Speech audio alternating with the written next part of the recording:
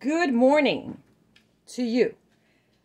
I have put in a banana in here. I have strawberries. I have uh, some cherries that I'm putting in. I'm removing the pit. And I'm putting some ice. Now, this is a new drink, although I think I'm still going to top it off a little bit with pineapple juice. Because this juice that you see here is grape juice. Uh, it almost looks like Welch's juice, but it came from the farmer's market freshly squeezed. So you pay a little extra for it. So here are my cherry pieces. Um, see, I'm removing the pits. And actually, I'm saving these pits and I'm drying them. I'm collecting pits. Lemon pits, cherry pits, avocado pits. I'm saving it because I'm a prepper. Okay, There's another, another cherry.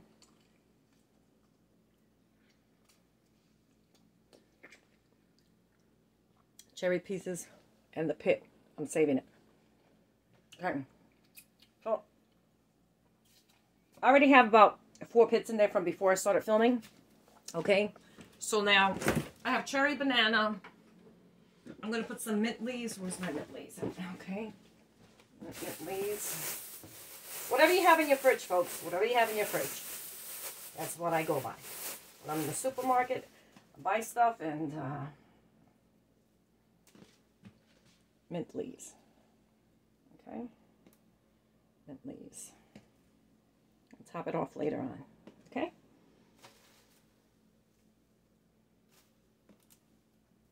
That's actually way more than I normally do. Okay. But I'm trying to use up all my mint leaves because they give me a nice generous portion at the supermarket. Okay. So I have ice in there as well. Oh, the most important part of it. Oh my goodness. How am I going to forget? All right. So this time, I didn't get the plain yogurt.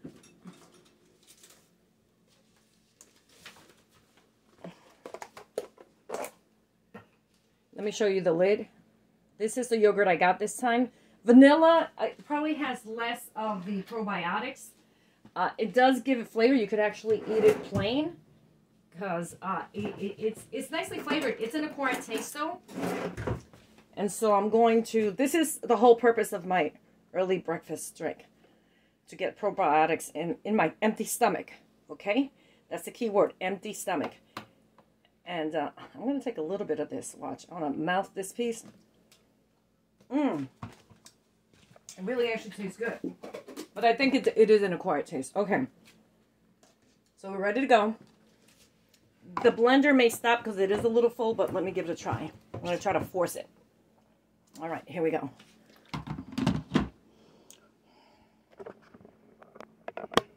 You're going to see the whole blender, okay? You're going to see a part of it.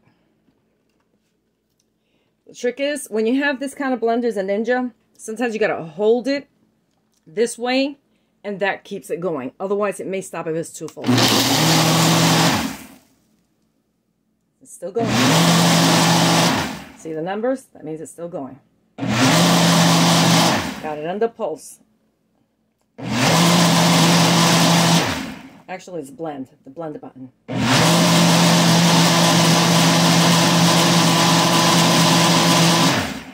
Nice. Done. See how it turns off? I love this blender. So now I'm going to make a pretty picture because usually it looks really pretty. Uh, for me, when I'm drinking it, but for the picture, I need it to be, actually, you know what? I'm going to use a pretty cup. For you folks watching out there, I'm going to use a pretty cup. And we're going to see this delicious drink. Not only taste delicious and be very nutritious, but sometimes we need a pretty picture. And here we go. Pretty picture.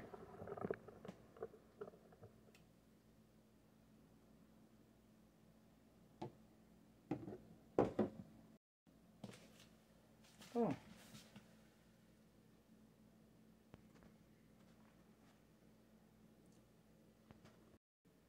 Okay, So here's my pretty picture. And I do have to show you what's on the ingredients because a picture is worth a thousand words. Let's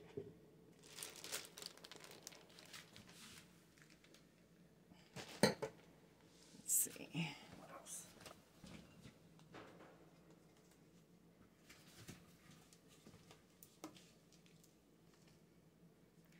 Okay. So that's what's in my drink. Okay, so you can't see the cherries there. But there they are, right behind you. Oh, let's not forget the strawberries. And I got to drink that my drinking, make it to my appointment. Strawberries. Now, can't really see the strawberries from here, right? So now, truth be told, strawberries should always be organic. It's one of the things on the must be organic list. Why, I don't know.